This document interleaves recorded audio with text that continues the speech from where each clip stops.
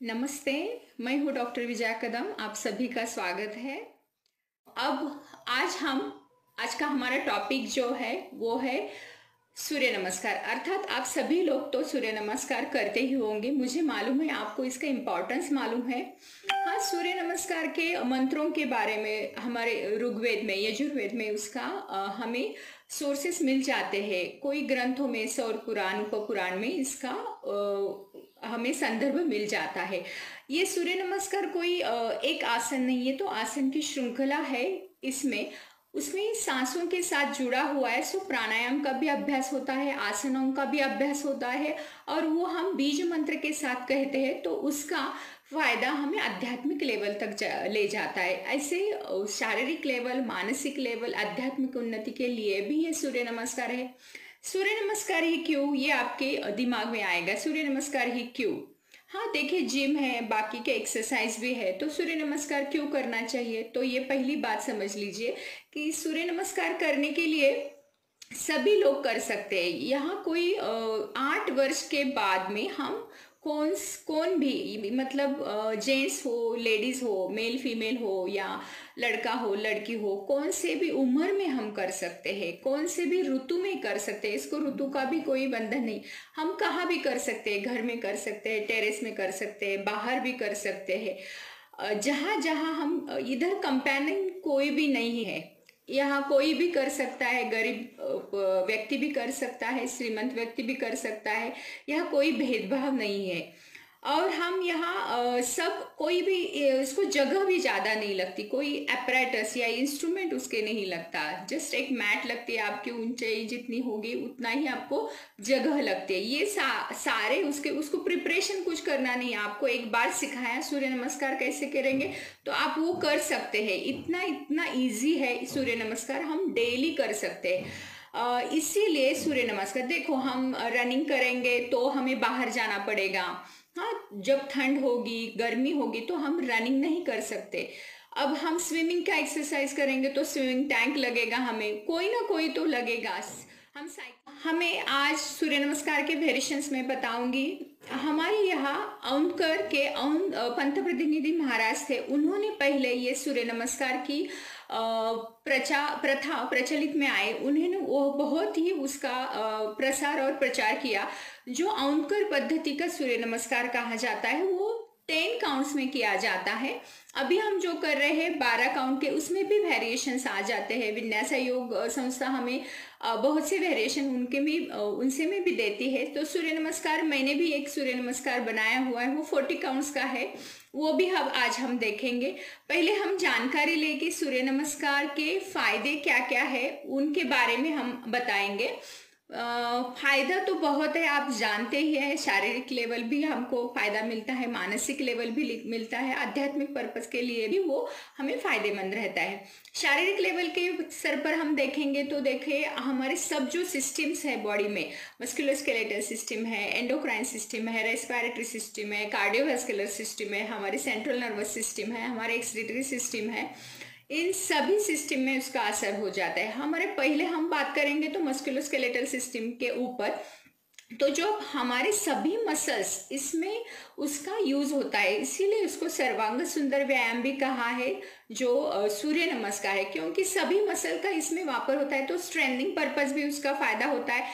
Flexibility के लिए लच, लचीलापन भी उससे बढ़ जाता है। सो आपकी जो मूवमेंट है जॉइंट मूवमेंट होगी या कौन सा भी आप काम करेंगे दिन में तो उसमें लचीलापन आने की वजह से फ्लेक्सिबिलिटी ज़्यादा से ज़्यादा बढ़ जाएँगी। और स्ट्रेनिंग पर्पज एक टोनिंग ऑफ़ द मसल्स आपको डेवलप हो जाएगा उससे भी आपको ज़्यादा से ज़्यादा फ़ायदा मिलेगा। और जो हड्डियाँ रहती है मस्कुलोस्केलेटल सिस्टम में, जब हम सूर्य नमस्कार सुबह और शाम को कर सकते हैं, सूरज की रोशनी के सामने पूर्व पूर्व दिशा की ओर हमारा मुख करके हम ये सूर्य नमस्कार कर सकते हैं। ज़्यादा प्रखर तेज सूर्य की सूरज की रोशनी में नहीं करेंगे, लेकिन सूर्योदय जहाँ सूरज उगता है, सूर्योदय होता है, वहाँ हम ये करेंगे। उसका फ़ायदा हमें बहुत ज़्यादा से ज़्यादा मिलेगा, क्योंकि विटामिन डी का सोर्स, जो नेचुरल सोर्स है, वो हमारे सूरज को किरणों से मिलता है, रोशनी से मिलता है, जो विटामिन डी हमारे हड्डियों को मज़बूत करने के लिए ज़्यादा से ज़्यादा फ़ायदेमंद रहती है। विटामिन डी बॉडी में क्या करता है, कैल्शियम एब्सॉर्शन करता है, सो विटामिन डी से हमें हड्डियाँ भी मज़बूत होती है, वो फ़ायदा भी हमें अलग से मिल जाएगा। Then respiratory system respiratory system में क्या है? जो हम सांस के साथ सूर्य नमस्कार का अभ्यास करते हैं, सांस लेते हैं, सांस छोड़ते हैं कभी कभी हम कुंभक यानी कि सांस रोक के भी लेते हैं। ये सूर्य नमस्कार में हम अभ्यास करने में सीखेंगे कि कैसे हम रोकेंगे, कुंभक कहाँ करेंगे। उससे क्या होगा? वो हमारी जो रेस्पिरेटरी सिस्टम में जो लंग्स है, उसकी कैपेसिटी बढ़ जाएगी वाइटल कैपेसिटी बढ़ जाएगी। आपको ऑक्सीजनेशन अपटेक की कैपेसिटी बढ़ जाएगी। आप ऑक्सीजन हमें ज़्यादा से ज़्यादा ब्लड में आएगा तो क्या होगा? ऑक्सीजनेटेड ब्लड की capacity each and every cell को ऑक्सीजन और न्यूट्रिएंट्स का वो पहुँचाने का मदद करेगी। तो आपको एक्टिविटी फ्रेशनेस अलर्टनेस ये अलग से फ़ायदे मिल जाएँगे। और रेस्पिरेटरी सिस्टम का और भी एक काम है जो हम रेचक करते हैं तो हम कार्बन डाइऑक्साइड बाहर निकालते हैं, जो टॉक्सिन्स है अदर टॉक्सिन्स है अदर विषारी द्रव्य जो है, जो जहरीले रहते हैं, जो हम सांस के बाहर छोड़ जाते हैं तो हमें एक्सरेटरी यूज़ का भी इधर हमें इसका फ़ायदा मिलता है। तो हम रेस्पिरेटरी सिस्टम की तो लंग कैपेसिटी बढ़ जाती है, उसकी वाइटल कैपेसिटी बढ़ जाती है। अभी जो पैंडेमिक चल रहा है कोरोना कोरोना के समय हमारे लंग्स पे ही अफेक्ट होता है। तो लंग्स की इम्यूनिटी बढ़ाने के लिए भी सूर्य नमस्कार बहुत फ़ायदेमंद होता है। तो हम उसका फ़ायदा उठाएँगे। फिर आगे आएँगे तो central nervous system central nervous system में भी उसका असर है क्योंकि हमारा स्पाइनल कॉर्ड हमारे जो रीढ़ की हड्डी है उसमें जो स्पाइनल कॉर्ड जाता है वहाँ उसको स्टिमुलेशन मिल जाता है उसका लचीलापन बढ़ जाता है। सो so, स्ट्रेस कम करने के लिए सेंट्रल नर्वस सिस्टम है ऑटोनॉमस नर्वस सिस्टम है पेरिफेरल नर्वस सिस्टम है सभी नर्वस सिस्टम में इसकी एक्शन है। तो हम कारम जो मज्जा है वो शांत हो जाता है जो नर्वस सिस्टम है डिस्ट्रेस होती है। मतलब कि तान तनाव भी कम हो जाता है हमारे कंसंट्रेशन लगा रहता है हमारा जो कौन सा हम आसन करने वाले हम उसके साथ में हम वो प्राणायाम भी जोड़ देते हैं वो कंसंट्रेशन बढ़ जाता है तो कंसंट्रेशन बढ़ जाने से हमारी एकाग्रता भी बढ़ जाती है एकाग्रता बढ़ जाती है तो हम डिस्ट्रेस हो जाते हैं। सो so, ये भी एक बहुत सा फ़ायदा है उसका. Then C V S cardiovascular system तो उसका एक तरफ़ का मसाज हो जाता है हार्ट का। हाँ एक पंपिंग जो एक रिदमिक क्योंकि हमारी जो हम रेस्पिरेटरी सिस्टम से जो ब्लड आता है ऑक्सीजनेटेड ब्लड वो हार्ट को दे जाता है। तो वो हार्ट सभी हमारे शरीर में फैला देता है। तो एक पंपिंग जो है, एक रिदमिक मसाज मिलता है। हार्ट को एक डिस्ट्रेस भी हो जाता है, एक रिदमिक एक्शन मिल जाती है। सो उसका काम भी अच्छे से हो जाता है। देन आगे जाएँगे हम डाइजेस्टिव सिस्टम डाइजेस्टिव सिस्टम में तो बहुत उसका अच्छा लाभ मिल जाता है। ऐसे रिसर्चेज भी पाए गए हैं कि जिनको कॉन्स्टिपेशन है, बद्धकोष्ठता है, उनके लिए भी ये फ़ायदेमंद रहता है। जिनको पेट की चर्बी कम करनी है, उनके लिए भी ये फ़ायदेमंद होता है, जो कि हमारे अंदर जो इंद्रिय रहते हैं, जो हमारे अंतस्रावी ग्रंथि होंगे या कोई पाचन तंत्र में पाचन रस बढ़ाने के लिए जो भी इंद्रिय है, उसका कार्य क्षमता बढ़ाता है, क्योंकि दाब और स्ट्रेचिंग हमारे पेट के ऊपर आ जाता हैं। तो उससे भी डाइजेशन इम्प्रूव होने में और पाचन इम्प्रूव होने में हमें बहुत बहुत फ़ायदेमंद रहता है। सो so, इसका भी फ़ायदा है। देन आगे आएँगे हम एंडोक्राइन सिस्टम हाँ एंडोक्राइन सिस्टम में अंतस्रावी ग्रंथि मैंने बोला पेट के पेट के अंदर एड्रिनल ग्लैंड्स है पैनक्रियाज है सो डायबिटीज़ के लिए भी वो फ़ायदेमंद।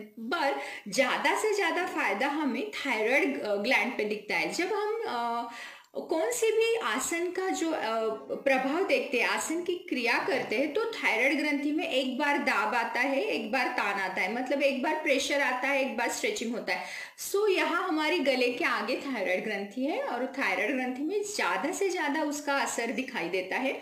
उसकी वजह से क्या होता है? थायराइड ग्रंथि का हमारा काम क्या है? मेटाबॉलिज्म रेट मतलब कि बेसल मेटाबॉलिक रेट जो है हमारा वो मेंटेन करने में हमें थायराइड ग्रंथि का बहुत बहुत फ़ायदा होता है।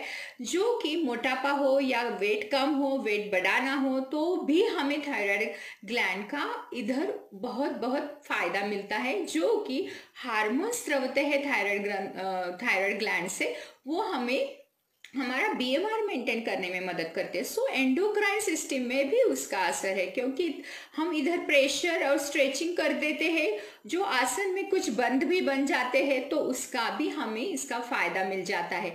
हाँ पर्वतासन हम करते हैं तो यहाँ जालंधर बंध लगता है तो उसके एक्शन हमारे थायराइड ग्लैंड पे भी है। सो एंडोक्राइन पर्पज भी आपको इसका फ़ायदा होगा, जो मोटापा, यानी वेट कम करने के लिए भी ये फ़ायदेमंद रहता है। और अब हम आगे जाएँगे detoxification detoxification means excretory system जैसे मैंने पीछे भी कहा आपको कि रेस्पिरेटरी सिस्टम में कार्बन डाइऑक्साइड अदर टॉक्सिन्स भी बाहर निकालती है बॉडी वैसे ही uh, हमें स्वेटिंग भी हो जाता है. स्वेटिंग होने स्किन का तो देखा so glowing of the skin भी हमको मिलेगा. इधर स्किन ग्लो होगा टॉक्सिन्स निकल जाएँगे तो अंदरूनी हमें क्लिनसिंग मिलेगा तो डिटॉक्सिफिकेशन होगा. तो स्किन हमें अच्छी मिलेगी। अब हम प्रैक्टिकल में जाएँगे, प्रैक्टिकल सेशन में। एक बात है कि सावधानियाँ बहुत यह मायने रखती है कि कौन नहीं कर सकता। जिनको हार्ट का मेजर प्रॉब्लम है, हाई बीपी है, वो भी नहीं कर सकते। किसी का हर्निया है पेट में तो भी नहीं कर सकते। या किन्हीं को फ्रोजन शोल्डर है क्योंकि हाथ शोल्डर के ऊपर हमारे बॉडी का वेट आता है तो फ्रोजन शोल्डर जिनको है वो भी ना करे। जिनको कमर दर्द है पीठ का बहुत स्टिफनेस या दर्द है वो भी ना करे। ये जानकारी हमें लेनी चाहिए। और महिलाओं में खास करके पीरियड्स में ना करे गर्भावस्था में ना करे ये भी हमें ज़रूर याद रखना चाहिए। हम्म, तो हम अब प्रैक्टिकल सेशन